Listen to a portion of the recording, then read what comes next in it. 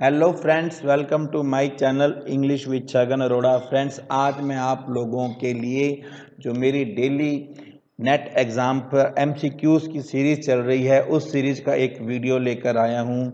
तो फ्रेंड्स आज इस वीडियो में हम 15 एमसीक्यूज़ को सॉल्व करेंगे और देखेंगे कि वो एग्ज़ाम में आपकी किस तरह से हेल्प कर सकते हैं। तो my first very first question for you is the nun's priest tales had its origin in a French Roman de Renart B the Italian Boccaccio's Teseida C the English John Gower's Confessio Amantis and D German Goethe's Faust तो आपको बताना है, इन चारों में none प्रिस्टेल का origin कहाँ से हुआ था? ये नन प्रिस्टेल किस पर बेस्ड है? आपको पता ही होगा नंस प्रीस टेल किसने लिखी है? चौसर ने। ओके, और ये जो टेल है, ये एक कोक और एक हैन के ऊपर है। और इस टेल में ये एक कैंटरबरी टेल्स की, one of the Canterbury tale है, और ये एक 625 लाइंस का नरेटिव पोएम है।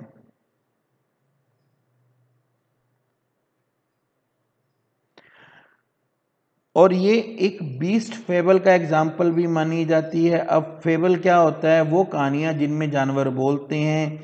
तो ये एक बीस्ट फेबल है। इसमें कॉक और हैन आपस में बातचीत करते हैं। फेबल का एक और एग्जांपल मैं आपको बताता हूँ। जैसे कि छोटा भीम, उसमें वो जो जग्गू बंदर है, वो बातचीत करता है। और ये एक मोक एपिक है। तो ये बातें आपको इसमें याद रखनी है।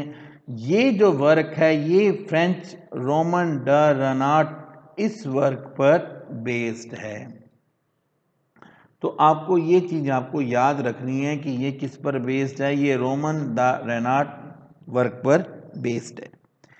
Next question for you is doctor Johnson's lives of the poets is an example of doctor Johnson का जो वर्क है the lives of the poets जिसे कि वेरी शॉर्ट फॉर्म में द लाइफ्स कहा जाता है, ये वर्क किसका एग्ज़ाम्पल है। तो देखिए, इस वर्क को उन्होंने लिखा था, इसका पूरा नाम था the lives of the most most eminent English poets आजकल जो कई बार क्वेश्चन पूरे वर्क के टाइटल पर आते हैं the lives of the most eminent English poets ये वर्क 1779 से 81 के बीच में लिखा गया था और इस वर्क के अंदर 52 पोइट्स की बायोग्राफी के बारे में था ये वर्क इसमें 52 पोइट्स की बायोग्राफी थी। तो देखिए, जैसे मैंने आपको बताया 52 पोइट्स की बायोग्राफी थी तो ये वर्क किसमें आ गया? ये वर्क आपका आ गया बायोग्राफिकल क्रिटिसिज्म में।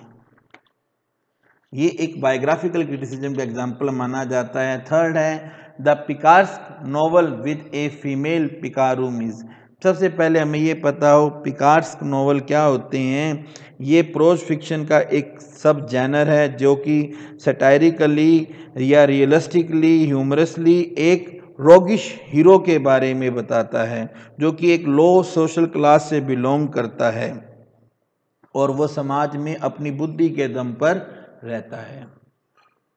तो इसका सबसे फ़ेमस एग्ज़ाम्पल में से एक है मॉल फ्लैंडर्स, जो कि डैनियल डेफो ने, ये डैनियल डेफो का लिखा हुआ वर्क है और 1722 में ये वर्क लिखा गया था। इसके अंदर मेन करेक्टर है मॉल, और मॉल जो है वो एक लेडी फीमेल पिकारूम है।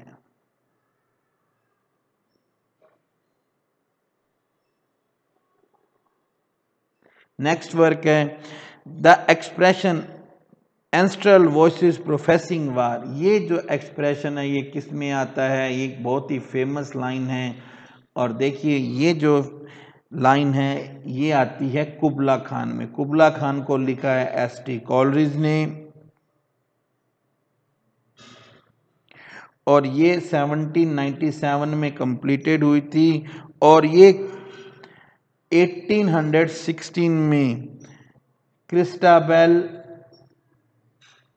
कुबला खान और पूरा नाम था Christabel Kubla Khan and pains of the sleep pains of sleep इस वर्क के रूप में पब्लिश हुई थी।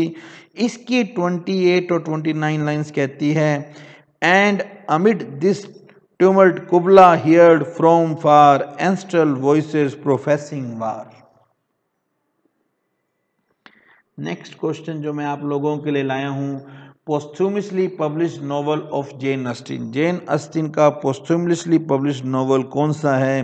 तो ये हमने कल भी एक डिस्कस किया था कि जो नॉर्थेंजर एबे है नॉर्थेंजर एबे इसका जो वर्क है, ये वर्क इसका पोस्थ्यूमसली पब्लिश्ड वर्क है। हालाँकि ये वर्क सबसे पहले ही लिख दिया था इन्होंने और इस वर्क के साथ में एक स्टोरी भी है। कि ये वर्क जो है, वैसे तो ये वर्क 1798 1799 में लिख दिया गया था। फिर इसे रिवाइज कर कर 1803 में जेन अस्टिन ने एक कंपनी को 10 पॉइंट्स में बेच दिया। और 1807 1817 में वापस जेन अस्टिन का ब्रदर उस पब्लिशर से 10 पॉइंट में वापस इस वर्क को ले आया।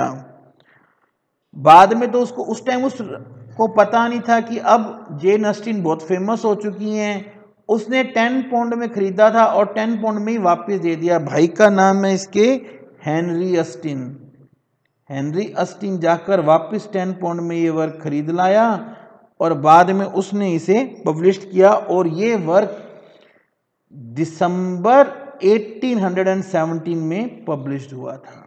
तो देखिए, ये वर्क लिखा सबसे पहले गया था, लेकिन पब्लिश ये सबसे लास्ट में हुआ था। कार्लिल साटस रिसोर्टस ये जो वर्क है ना साटर रिसोर्टस ये लगभग हर बार एग्ज़ाम में घूम फिर कर इस वर्क पर एक क्वेश्चन आता है। थॉमस कार्लिल का ये मेजर वर्क है। और इसके अंदर एक बहुत ही फ़ेमस वैसे पहले मैं आपको बता दूँ साटर रिसोर्टस का मतलब क्या होता है? इसका मतलब होता है द टेलर रिटेलर्ड, यानी कि दर्जी ने दोबारा सिल दिया। ये एक जर्मन फिलोसफर की स्टोरी है। बहुत अलग सा ही वर्क है ये। जर्मन फिलोसफर की स्टोरी है और ये जो वर्क इस जर्मन फिलोसफर का नाम ही बड़ा अजीब है, हमें इसके नाम से कुछ नहीं लेना है। इस वर्क ने उस टाइम की दुनिया को बदल कर रख दिया था। बहुत ही फ़ेमस वर्क है। ये सबसे पहले 1833-34 में पब्लिश्ड हुआ था और इस जर्मन फिलोसफर, जिसका नाम है डायगनीस टूफेल्स ड्रॉक्च इस जर्मन फिलोसफर की लाइफ पर यह वर्क बेस्ड है। Next, the poet who said, My poems are not about violence but vitality. is किस पोइट ने ये कहा था कि उसकी जो पोइम्स हैं वो इस बारे में नहीं हैं? तो क्या आप जानते हैं? या आपको मालूम है कि किस राइटर ने ये बात कही थी?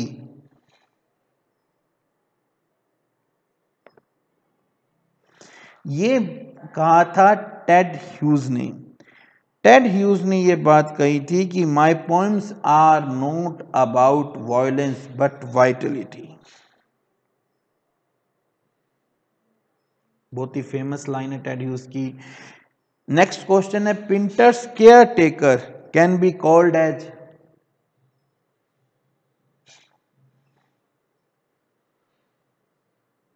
Pinter के केयर टेकर को क्या कहा जा सकता है? पिंटर्स केयर टेकर है, वो कॉमेडी ऑफ़ मीनियक है। ये जो टर्म है कॉमेडी ऑफ़ मीनियक ये बहुत ही फ़ेमस टर्म है। इस पर भी कई बार क्वेश्चन आया है। पिंटर का जो ये वर्क है केयर टेकर एक ड्रामा है, ये 1960 में पब्लिश्ड हुआ था। ये कॉमेडी ऑफ़ मिनियक है। इसके अंदर क्या है कि स्टार्टिंग में तो ह्यूमर है और बाद में ये एक ट्रेजडी बन जाती है। ये एक फ़ेमस पर्सन थे जिनका नाम है डेविड कैंपटन इन्होंने भी प्ले लिखे हैं। डेविड कैंपटन की डेविड कैंपटन का एक बहुत ही फ़ेमस वर्क है द ल्यूनेटिक व्यू ल्यूनेटिक होते पागल। The lunatic view a comedy of menace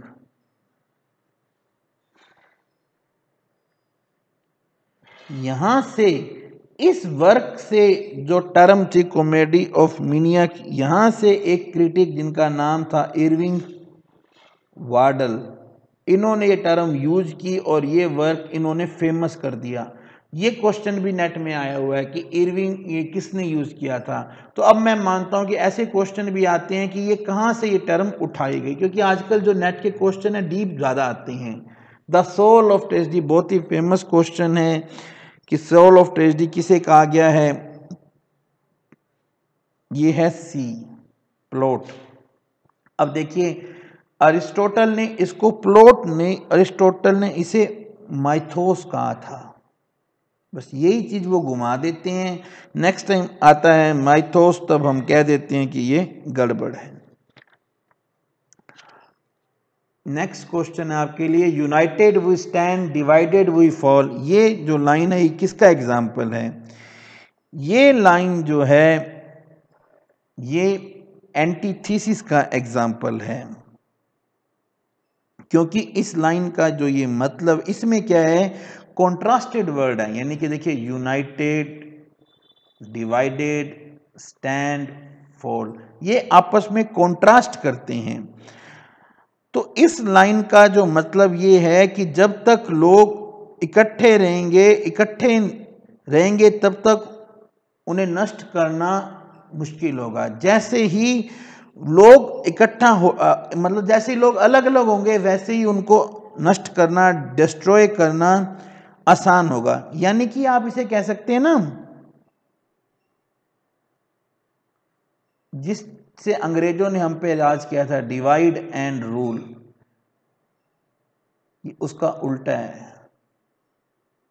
United we stand divided we fall ये तो हुए आज के टेन क्वेश्चंस अब देखिए, ये जो कुछ क्वेश्चंस मैं आप लोगों के लिए लेकर आया हूँ, आप इनका स्क्रीनशॉट ले लीजिए। और ये एक छोटा सा आपका होमवर्क है।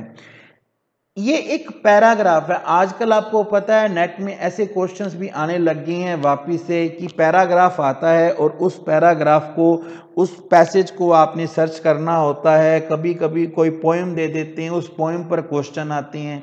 तो ये एक पैराग्राफ है। इस पैराग्राफ पर मैंने कुछ क्वेश्चन भी बनाए हैं। आप इसका स्क्रीनशॉट ले लीजिए और ये कुछ क्वेश्चन हैं। जैसे ये इलामत क्वेश्चन है। ये मैंने इसके पाँच क्वेश्चन आपके बनाए हैं। इनके जो आंसर हैं, वो मैं नीचे कमेंट बॉक्स में लिख दूँगा। आप मुझे ये ज़रूर बताइए कि ये पैराग्राफ आपको कितना समझ में आया है। अगर आपको कोई प्रॉब्लम आती है तो मैं उसको सॉल्व कर दूँगा। ये पाँच क्वेश्चन हैं। बड़े आराम से आप स्क्रीनशॉट ले लीजिए ताकि आपको कोई दिक्कत ना हो। और बाद में आप मुझे ये ज़रूर बताइए कि ये क्वेश्चन कैसे हैं। अगर आपको ये क्वेश्चन इजी लग रही हैं तो मैं नेक्स्ट टाइम क्वेश्चंस का जो स्टैंडर्ड है, वो थोड़ा सा बढ़ा दूँगा।